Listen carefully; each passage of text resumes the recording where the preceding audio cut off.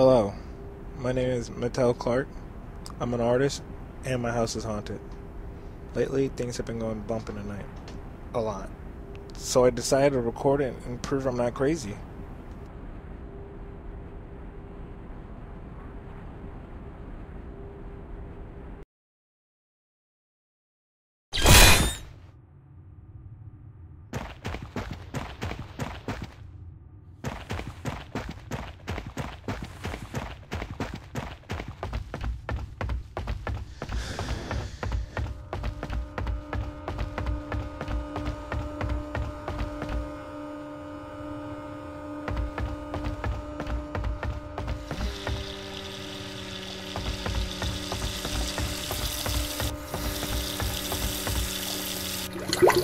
Go. You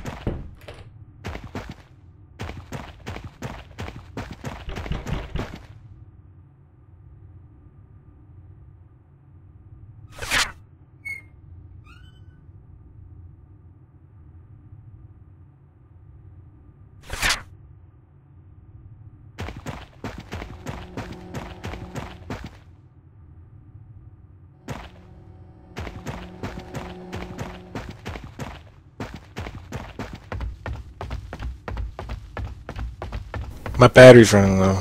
I should go to bed and charge it overnight.